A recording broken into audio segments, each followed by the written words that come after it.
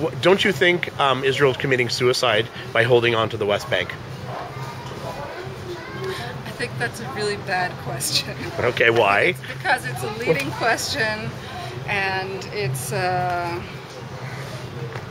I don't think it's a useful question. The answer is sometimes I do and sometimes I don't. Okay, why, why? Okay, so give an example. Why do you think yes and why do you think no? Um, I think the investment that Israel is making in the territories is unjustified. I think that the emphasis on the West Bank in the Israeli political arena is absolutely outsized. I think that the continuous provocative attempts to make it impossible for Palestinians to live there, either now or in a possible future Palestinian state, are catastrophic. I think the conditions under which Palestinians live in the West Bank are absolutely um, unjustifiable under any circumstances. I could go on and on. And when I say no, I say no because I think that, you know, other things are happening in the world. I think Israel has many problems. I don't think Israel's committing suicide. I think many people are blind about the West Bank. I think that on the left wing, there is a blindness to some of the serious arguments that some of the West Bank people put forth about a Jewish right to these lands. And I think that even in a political outcome in which that was turned over to Palestinian state, those feelings and concerns have to be taken into account. And sometimes I also think that the emphasis uh, in the news about uh, West Bank affairs that make it look as if Israel's committing suicide tomorrow are just, you know, silly. So I have a wide range of feelings. That's just part of it. Um, האם אתם חושבים שישראל כמדינה מתאבדת בזה שהיא מחזיקה את השטחים? זו השאלה. למה, רגע, מה, סתם, אפשר לדעת למה זה?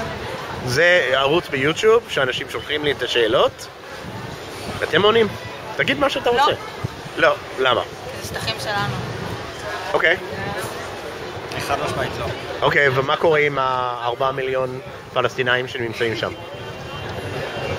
בוא נמשיך לגור שם, בסוף זה השטחים שלנו, והם יישארו שלנו. לא הבנתי מה? אני אומר שזה השטחים שלנו, והם יישארו שלנו. כן, בסדר, מה קורה עם ארבעה אנשים, ארבעה מיליון הם אנשים? בוחרים לחיות איך שהם חיים.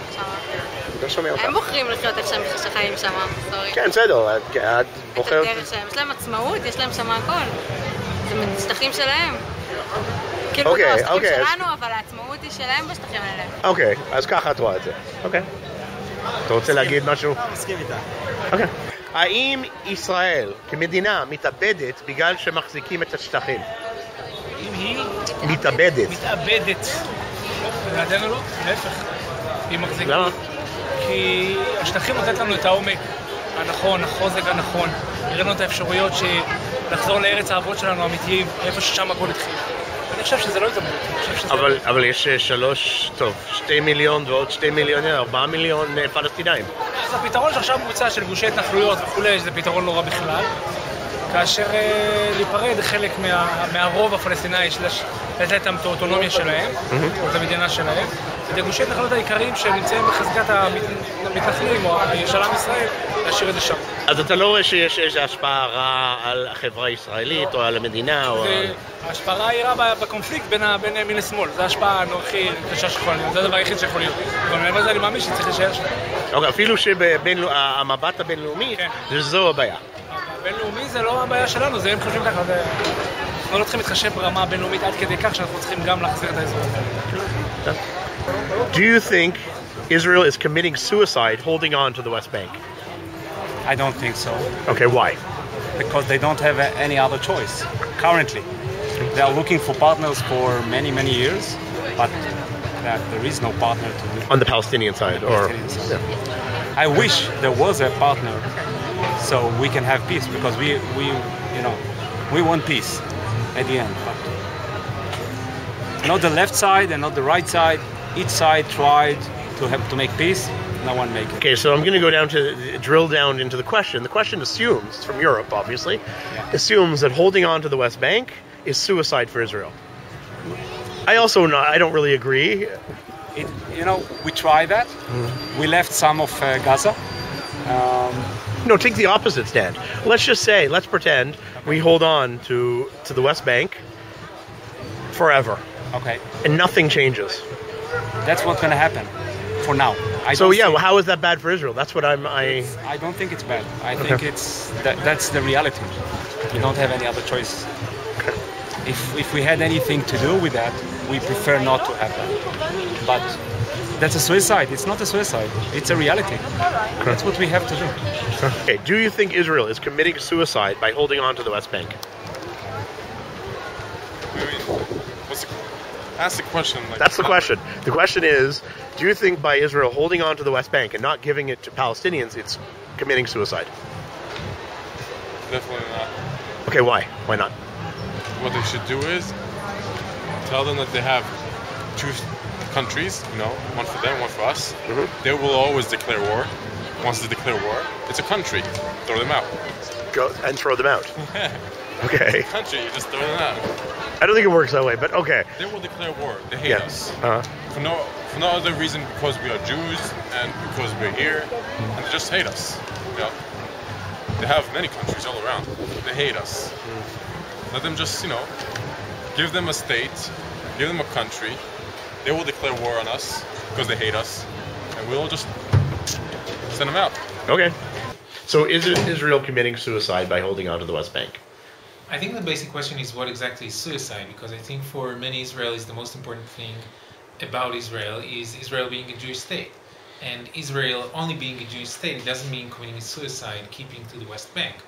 But if you if you perceive Israel as, as a state which is both democratic and Jewish, as I perceive that, I think holding on to the West Bank will lead in the long term to very harsh consequences to Israel, even losing its democratic nature at the end, in the long run. Once again, not in the short term. Yeah, but so it's been- therefore, what? But it's been 40 years. I mean, how much more long run can we get? Oh, we can get long. You know, there are occupations around the world which last for a very long time. Yeah. Uh, but most of these places, uh, the occupying state is a very large state that nobody will deal with, like China or Russia. But Israel is a smaller state, and therefore it's it's you know it's much more vulnerable to pressures from outside. So it could hold, but it you know as you're saying, it holds for already for 40 years, and there, therefore I don't think it's suicide in any sense in the short term. But in the longer term, from the democratic sense of Israel, I do believe it carries out very, very harsh consequences. Okay, so walk me through that. What what do you expect that to look like? Let's say 60 years down the line. There's you can't have democracy. I don't think that, that a no, I don't believe that you can have a democracy in the liberal sense, not holding on elections. But I mean a liberal sense of having human rights and civil rights, uh, withholding population that will become eventually the majority between the Jordan the Jordan uh, and the River and and the Mediterranean Sea. I don't think you're able to hold a liberal democracy in that sense. So I think it will take maybe a couple more decades. But once again, you know, international circumstances are so much changing that that's why I say in Hebrew, "Nevuah nitna lashotim." You know, only fool people are trying to be prophets. אתה חושב שישראל מתאבדת בגלל שהיא מחזיק, מחזיקה את השטחים? יהודה ושומרון, כאילו. ואתם גרים שם. מתאבדת. נכון, אנחנו גרים שם. כן. אה, שטחים. אני לא חושב שישראל מתאבדת. אני חושב שישראל עומדת בנחישות על, אה, על מה שמגיע לה, ונכון שהיא לוקחת אה, סיכון בזה, ושזה לא קל, אבל אה, אנחנו לא מתקבלים עם משהו שהוא לא קל. כלומר, יש משהו שהוא נכון והוא לא קל, אנחנו הולכים עליו בכל הכוח. אני חושבת שאין נקודה ספציפית בישראל שנחשבת שטחים בעיניי, כאילו ישראל היא כולה ארץ ישראל, אה, איפה שבוחרים להתיישב זה מצווה, זה זכות. אה, הרבה פעמים אנשים שנמצאים שם לא יודעים באמת מה ההבדל, הנה דוגמה, אנחנו גרים במעלה אדומים, שזה שתי דקות מירושלים, מחוץ לקו הירוק, ואם לא יהיה מעלה אדומים אז כל החלק אה, של ירושלים, לא המזרחי, החלק מזרחי. המזרחי של ירושלים יהיה פשוט אה, פגיע וחשוף בקו ישיר. ליריחו. כן. טריטוריאלי. אוקיי, אבל הם אומרים ש, שישראל עושה טעות בגלל שכל העולם לא מסכימים עם זה. יש לישראל בעיה ב... לא בהתבטאות, איך ש- יחסי איך הם- חוץ. כן. יחסי חוץ הם לא מנוהלים כמו שצריך בעיניי.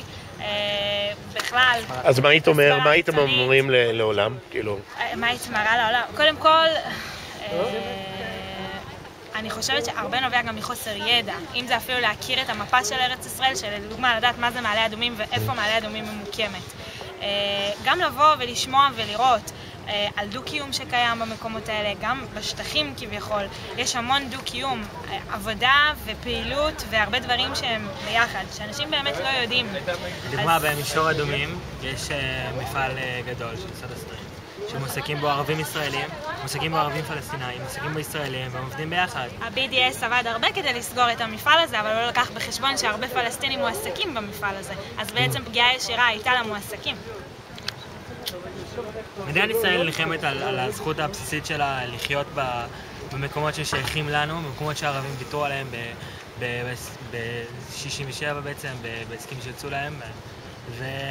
לא, אין הסכם, כאילו. נכון, הם לא לקחו אותו, הם אה, זרקו הכל. הם לא הסכימו לשמוע בכלל על קיומה של מדינת ישראל, ו... אה, אני זו חושב בעיה ש... שחוזרת כל הסכם. כל כן. הסכם אין הכרה במדינת ישראל, אז שוב זה מבוי סתום. האמת לא נמדדת במה שהעולם אה, מוכן לשמוע או לא מוכן לשמוע. ואנחנו מקווים ש... שהעולם יתפכח קצת ויבוא לפה בשביל להבין מה באמת קורה פה, ואיזה דברים אה, מופלאים יכולים לקרות פה אם רק אה, נקבל תמיכה אמיתית. מוזמנים למעלה אדומים, עיר יפהפייה. באמת יפהפייה.